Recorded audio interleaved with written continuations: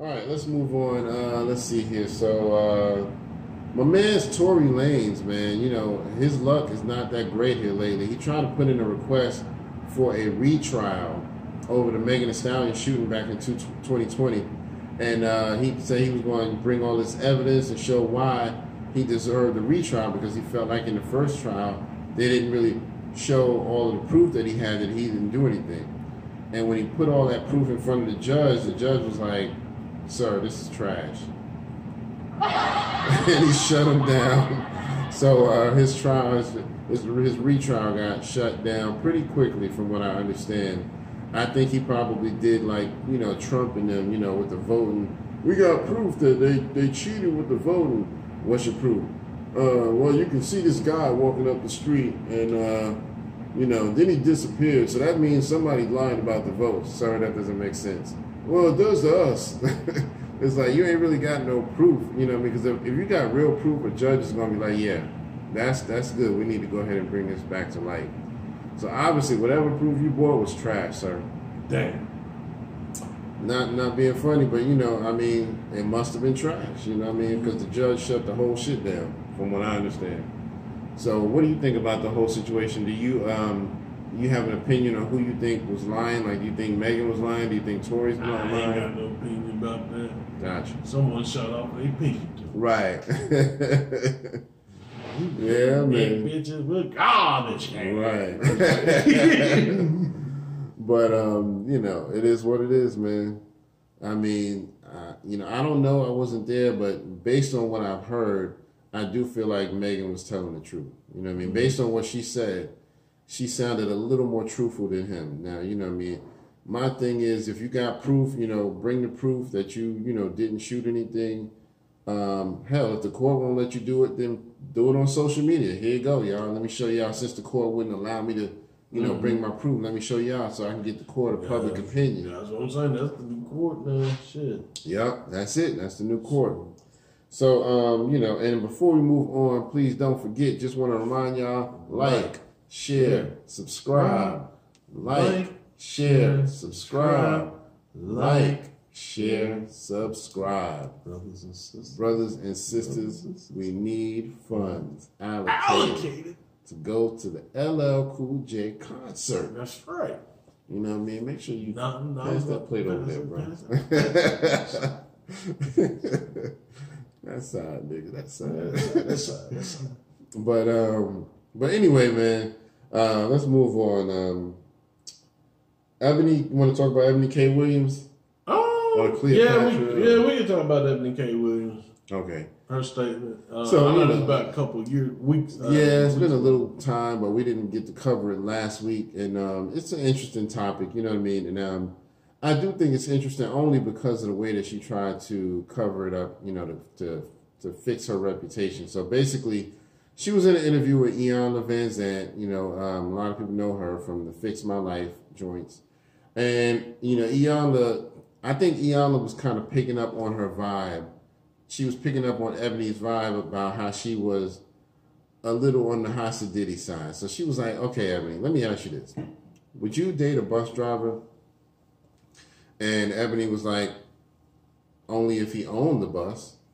And so that comment really got her into a lot of flack. A lot of people was like, whoa, what you mean? That's the only time you would date a bus driver is if he owned the bus? Now, um, you know, I felt like most people felt, you know, like she was just saying, you know, I'm above just dating an average driver. You'd have to be a, a an owner for me to want to date you, uh, to be on my level. Now she tried to backtrack it and say, well, no, I was trying to uplift black men by saying that. You know what I mean? I'm not seeing it. Not seeing it. I don't see the upliftment. I don't feel very uplifted. So, and you know, you might have to um, clean that up a little bit more. So, most people who heard her when she tried to clarify still said, "Nah, they call bullshit." So, what you think about the whole Well, the thing? thing of it is, like, don't get me wrong. I I I do understand that she just don't want anybody. I get that. I respect that. Um, but if the man doing the bus, if he's driving a bus, or he's, you know, what I'm saying, if he's working and that's what he's focusing on, you know what that man's doing.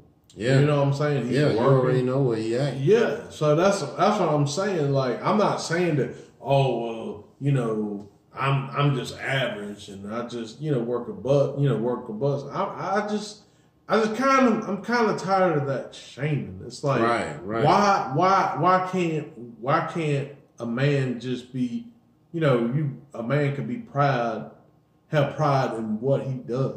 Exactly. You know what I'm saying? Exactly. Like, hey, I may not be, I may not be a millionaire, but hey, I I work here, I get a steady check.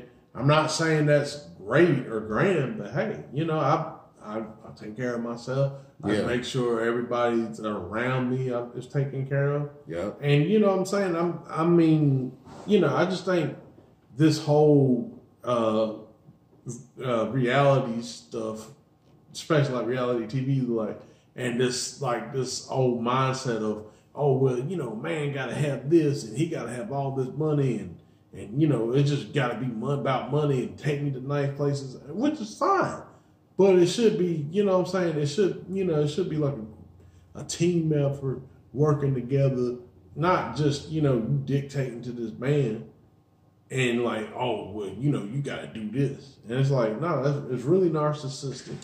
Yeah, and I mean, a lot of times that shit backfires, man, because a lot of these women uh, who think they need these million dollar men, a lot of times they end up getting cheated on because certain men, when they get to that high standard or high um, level of income, they feel like I can have whatever woman I want. Well, that and You know what I the mean? fact, the fact that they probably like, you know what, I'm tired of this nagging bitch. Right. As a matter of fact, let me go ahead and get into it. So, really, she act from what I understand, she had um she had um she she had a, she made herself available to all races of men.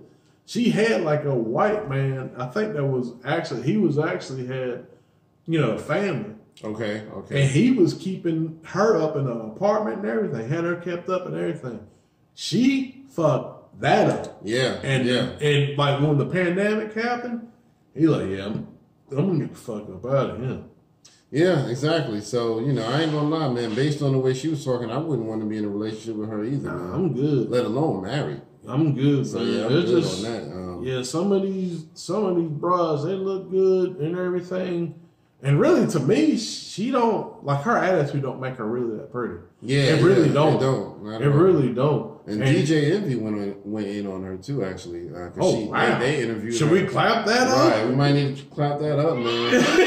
Hey, my man got a backbone. Envy kind of got a backbone. He Wow. like- he said, "Yeah, you know, uh, I, I kind of side with those people who are bus drivers because." You know, I know a lot of them, and you know, those are my peoples. You know what I mean? And I don't appreciate the way you was talking to them. Blah blah blah. Oh man, Uh, so, better, man, I'm, that's what I'm saying. It's like they, it's like the people that's up on top are gonna shit on people that, okay, they may not be the next, you know, Bill Gates or, but these people are the same, are the people that keep the country going. Why are you shitting Yep. on these people? Exactly. The bus driver, the construction worker, the people that you know what I'm saying. They, there are people necessary to keep the country going. Why are you shitting on them? If it Yeah. wasn't from them, you wouldn't be able to do whatever you needed to do. Yeah. And I'm not necessarily saying that, you know, you gotta get on a bus, but you know what I'm saying?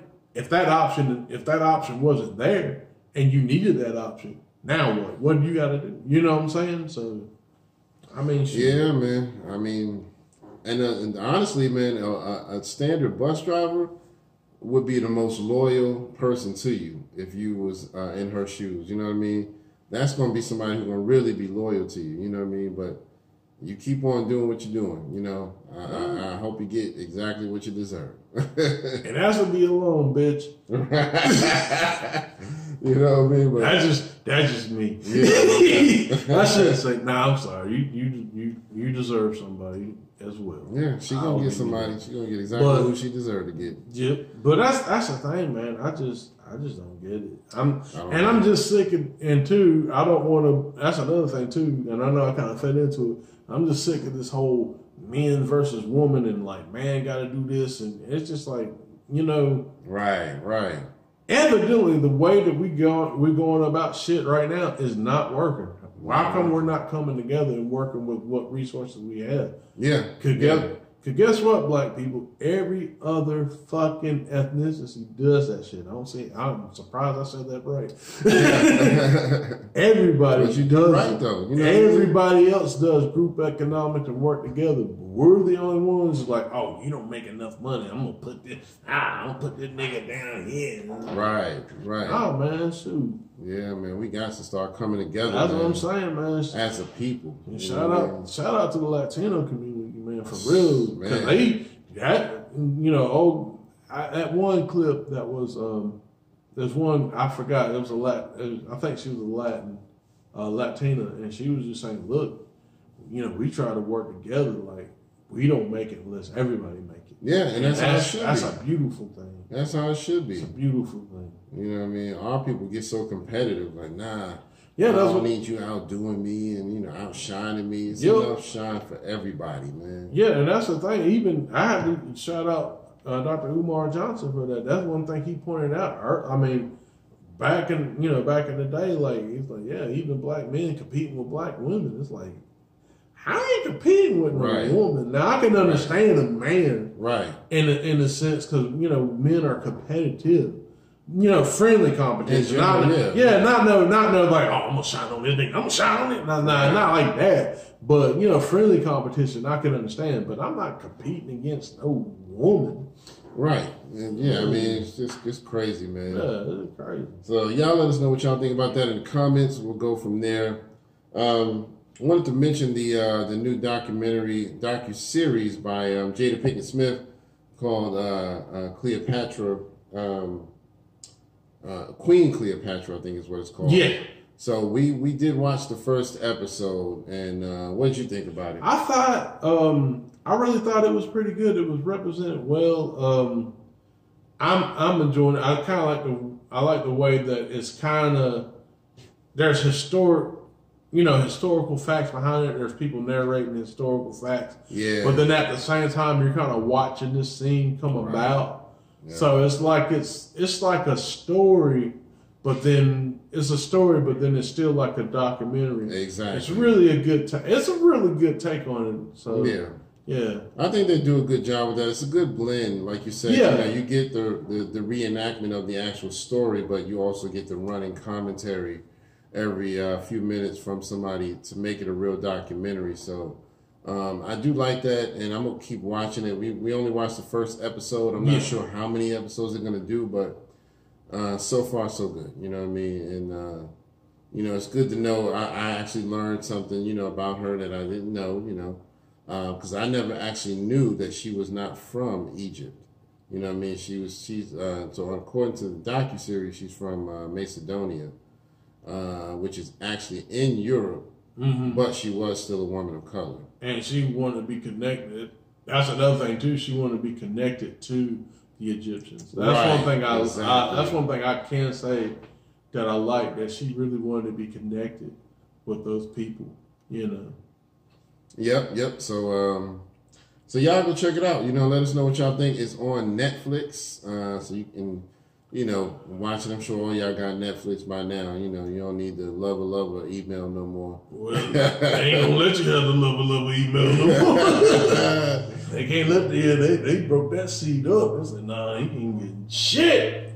Man, Right, exactly. So, Dang Netflix, that's how y'all got up. oh, my bad. Uh oh. My bad. No, I meant to turn my uh, ringer off earlier. Scam likely my arch nemesis. Um, Word. So anyway, uh, we can move on.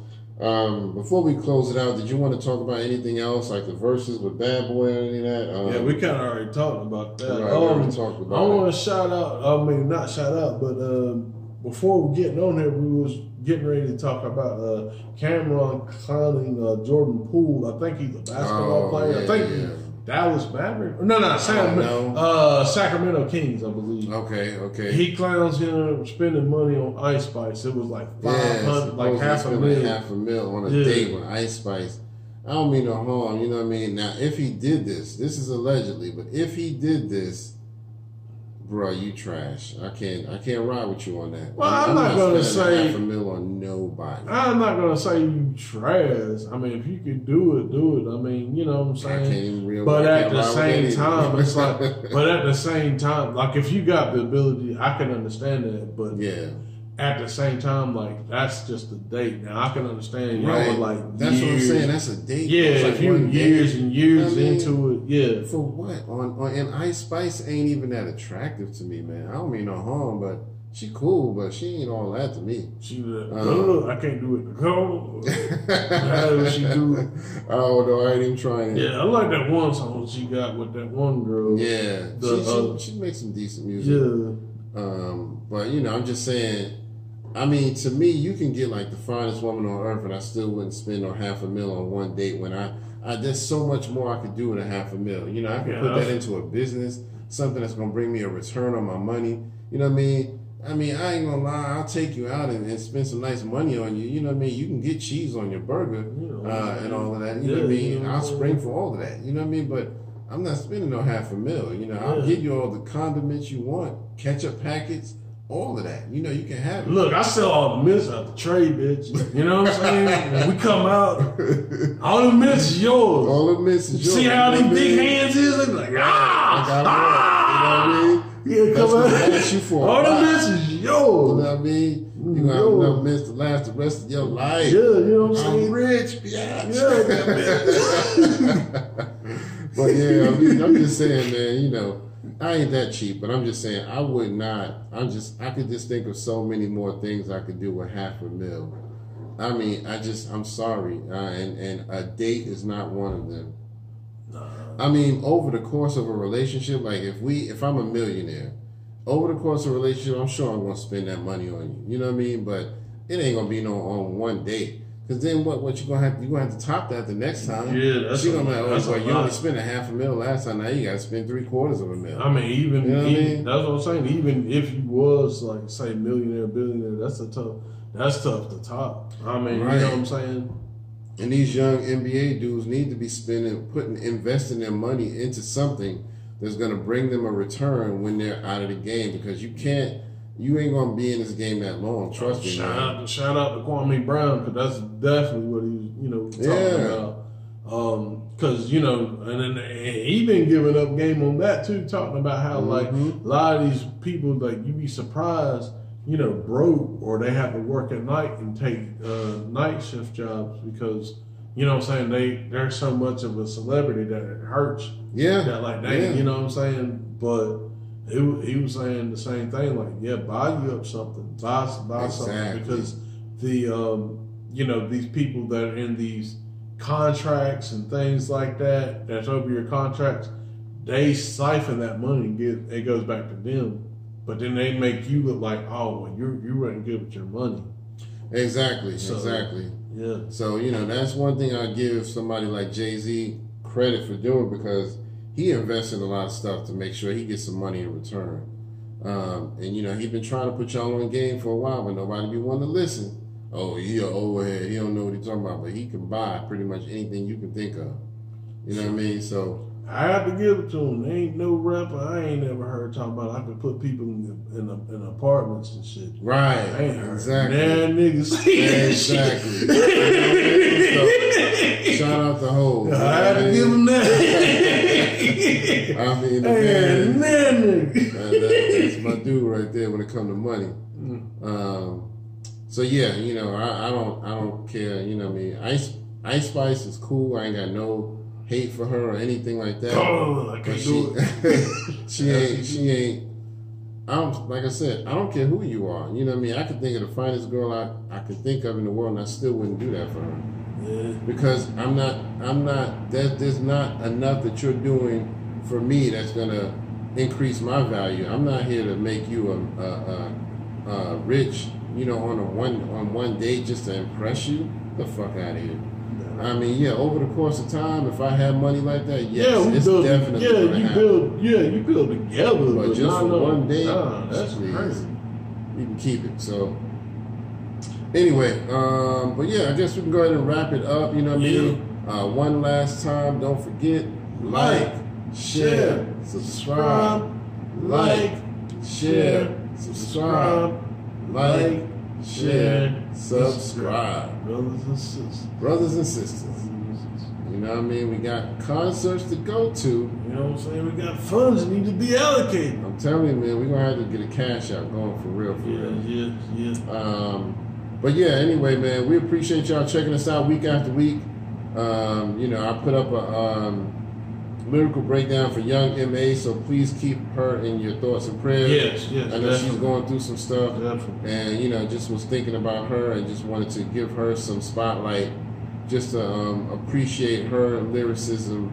So um, go check that out, um, and we will see y'all on the next episode. So this has been episode two forty two. 242? This is your man Kurt, and this is, Howie. and we'll see y'all next time. Her.